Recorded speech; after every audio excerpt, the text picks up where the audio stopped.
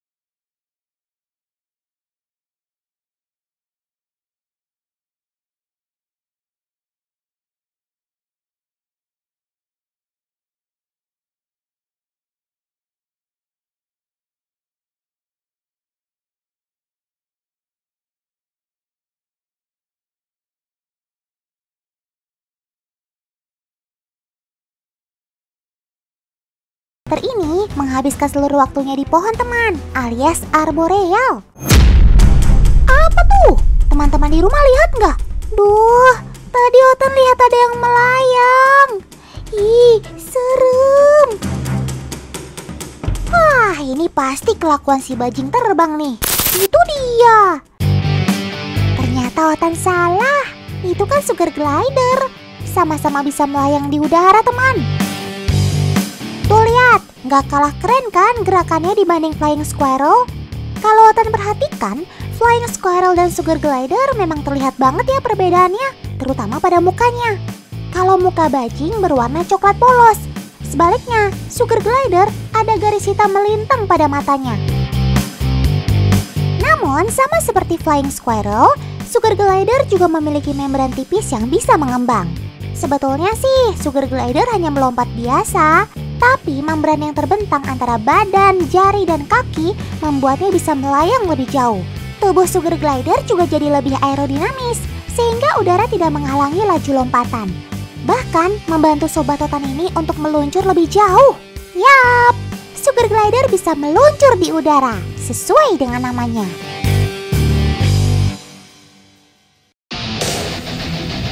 Olahraga yang ini juga meluncur di udara. Namanya aja paragliding. Kalau di Indonesia lebih dikenal dengan sebutan para layang. Wih, lepas landas dari puncak lereng bukit dengan ketinggian minimal 300 meter. Wow, memacu adrenalin pastinya. Kalau sugar glider meluncur karena punya membran di tubuhnya. Sedangkan paragliding karena ada parasut besar ini. Paragliding sudah banyak dijumpai di banyak lokasi di Indonesia. Yang paling dekat ada di Puncak Bogor. Ada juga di Gunung Banyak Batu Jawa Timur dan juga di Lombok.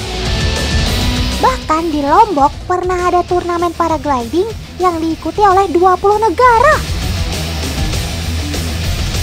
Wah, pemandangannya indah banget ya.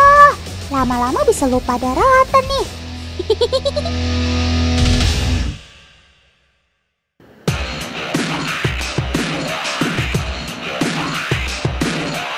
Otan jadi kepikiran bikin eksperimen nih. Kira-kira antara Flying Squirrel dan Sugar Glider, siapa ya yang bakal mencatat jarak terbang terjauh? Sudah ada Kaulan dan Kak Anissa nih yang akan membantu Otan menemukan jawabannya. Yang dipegang Kaulan ini ialah bajing terbang. Sementara Kak Anissa memegang Sugar Glider. Kalian tim Kaulan atau Kak Anissa nih? Otan sih yes dua-duanya. Kita mulai dari sugar glidernya Kak Anissa terlebih dahulu. Silahkan Kak. Wih, kayaknya lumayan jauh juga teman. Mari kita hitung jaraknya dengan menggunakan meteran. Hmm, 2,2 meter teman. Sip deh. Nah, sekarang giliran flying squirrel. Ayo kak. Wah, sepertinya yang ini lebih jauh teman. Coba diukur dulu kak. Woi, 2,5 meter. Tuh kan apa Otan bilang. Jadi jelas ya sekarang kalau bajing terbang mampu melayang lebih jauh dibandingkan sugar glider. Cocok deh kalau ada superhero namanya Squirrel Man. Gak kalah sama Spider-Man. kalau Spider-Man kan dari gedung ke gedung. Nah yang ini dari dahan ke dahan.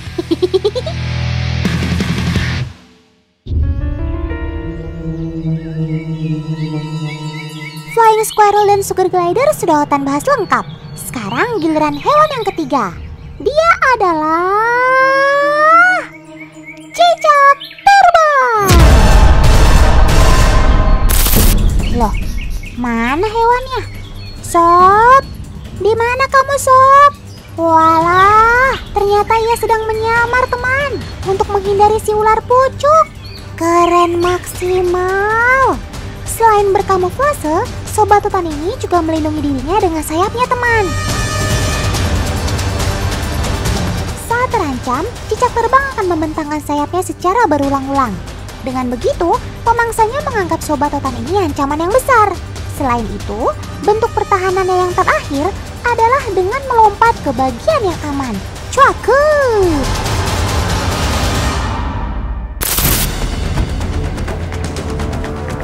Sob, ayo cepat kabur. Jangan sampai kamu jadi makanannya si Lipan. Woohoo! Akhirnya kamu selamat, Sob. Yeay! Hah? Ada yang gak sempat melihat? Aduh!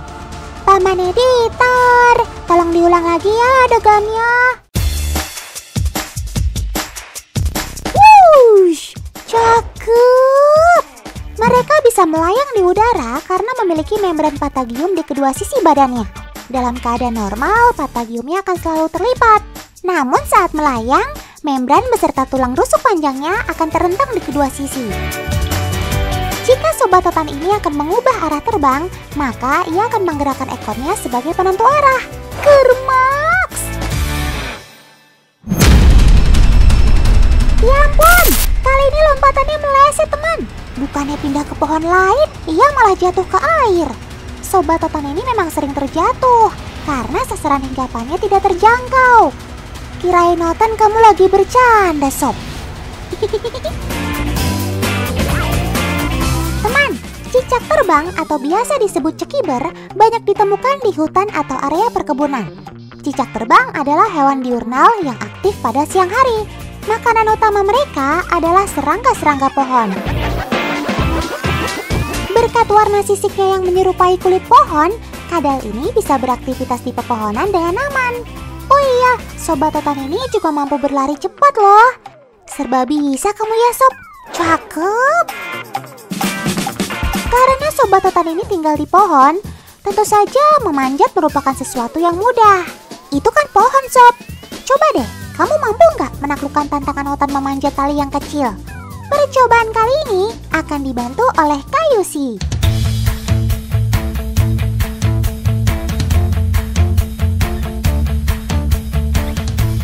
Good job! Ternyata ia mampu melakukannya dengan mudah, teman. Dengan mengandalkan jari dan kuku yang panjang, memanjat dengan tekstur yang kasar bukanlah suatu masalah.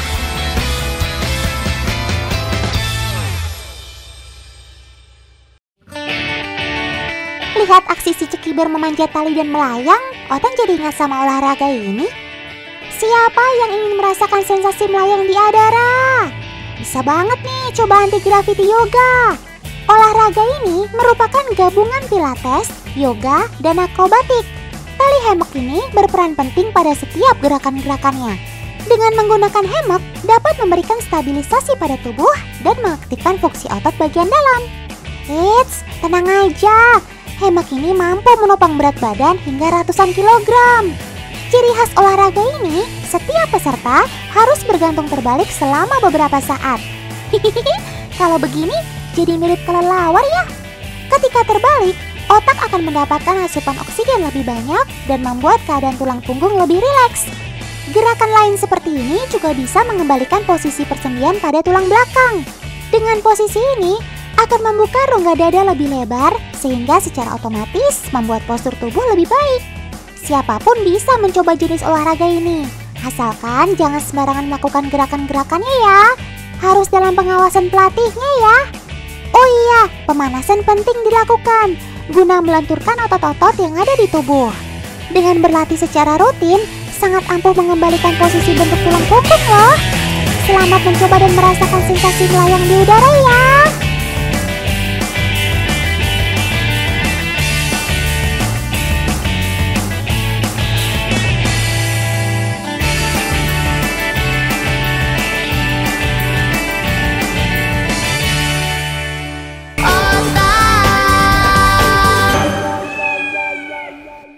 Lagi ada pandemi virus corona, deh. Kan nggak boleh keluar rumah ya? Biar Rotan aja yang ceritain deh. Otan sekarang lagi ada di peternakan sapi Greenfields. Peternakan besar ini berada di Kabupaten Malang, Jawa Timur.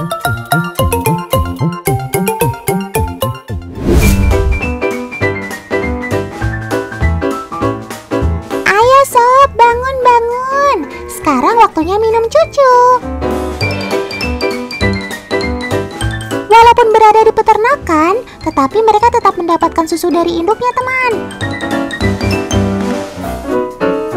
Tapi bedanya, mereka tidak minum susu secara langsung, melainkan menggunakan wadah.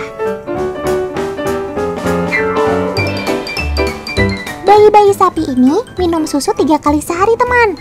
Jadwal mereka minum susu adalah pagi, siang, dan malam hari.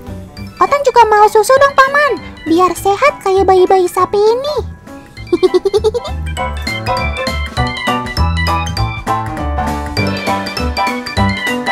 Suhu susu harus terjaga di angka 35 sampai 40 derajat Celcius, sama seperti susu yang baru keluar dari ambing induknya. Oh iya, sekali minum susu, sobat otan ini bisa menghabiskan 3 liter loh. Cakep.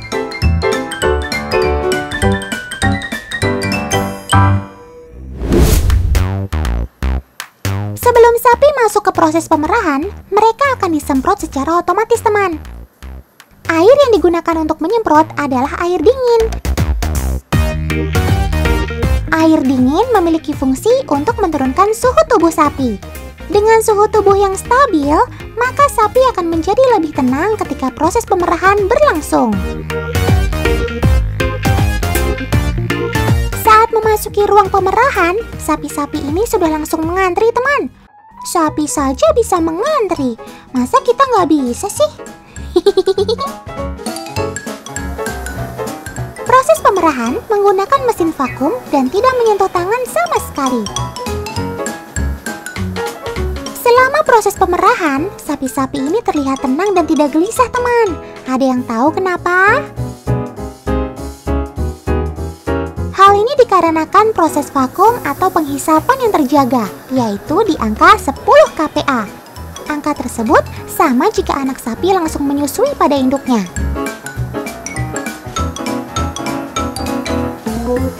Jika denyut sapi sudah turun di bawah angka 60 kali per detik, maka alat vakum akan terlepas secara otomatis teman.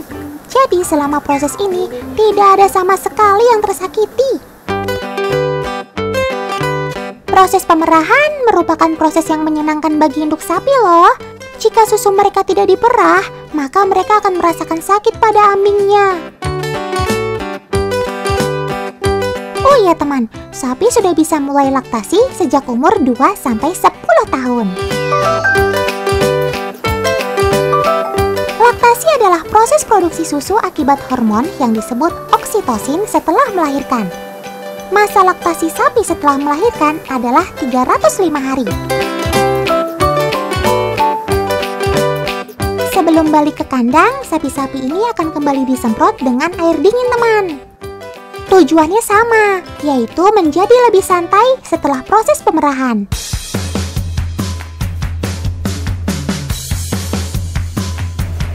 Loh, itu Kak Putri ngapain pesen tulang sih? Memangnya tulang bisa dimakan, Kak? Pesan mie ayam bakso aja, Kak. Kan lebih enak. ternyata eh ternyata yang Kak Putri pesan itu adalah sop sumsum tulang sapi, teman. Wah, kalau ini sih kesukaan Otan juga. Mantap. Ayo paman, sudah matang belum? Kak Putri udah lapar tuh. Uh, uh, uh, uh, uh. Sumsum tulang sapi ternyata memiliki berbagai macam manfaat bagi tubuh loh. Kandungan kolagen dan glukosamin dalam sumsum sangat bermanfaat dalam menjaga kesehatan tulang dan sendi. Sementara kandungan gelatinnya memicu terbentuknya kolagen dalam tubuh. Kolagen sendiri dapat membuat kulit menjadi lembut, cerah, dan kencang. Kayak otan gitu deh. Kandungan gelatin ini juga dapat melancarkan pencernaan teman karena gelatin merupakan protein yang sangat penting untuk proses sistem pencernaan. Loh, kok sudah habis sih? Untuk konten mana?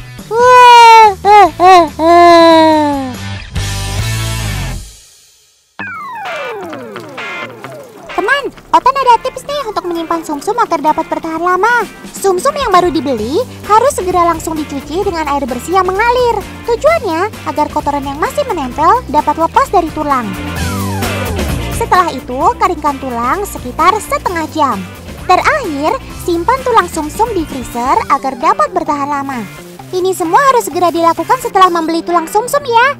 Karena jika terlalu lama ditaruh di tempat terbuka, bisa mengundang lalat datang. Selamat mencoba ya.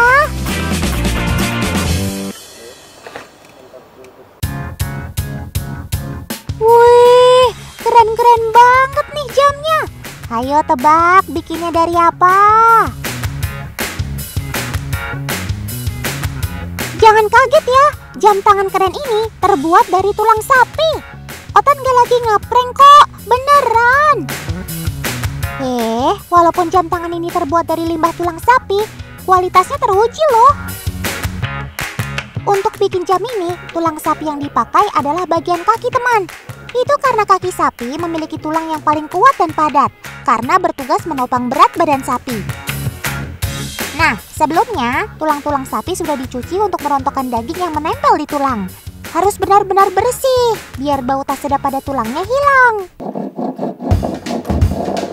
Sekarang bentuk tulang sapinya mengikuti pola jam yang sudah ditentukan. Loh, Kak Putri mau ngapain sih bawa gergaji segala? Memangnya mau ikut bantu bikin jam tangan ya? Oke lah kak, semangat! Duh, Kak Putri, pantas saja kewalahan. Gergajinya saja pakai gergaji kayu. Mau sampai kapan nih selesainya? Teman, saking kerasnya tulang sapi ini, jadi butuh gergaji khusus deh. Sudahkah menyerah saja?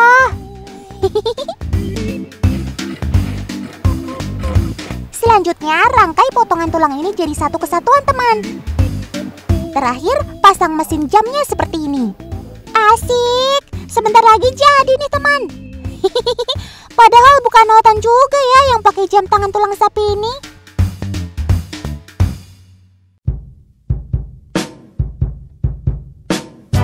Warna dan corak yang berbeda pada setiap produk merupakan warna alami dari tulang sapi teman. Cuma dipoles dengan mesin poles, biar garis serat tulangnya tampak dan jadi lebih mengkilat. Jadi bukan dicat atau ditambah bahan kimia lainnya.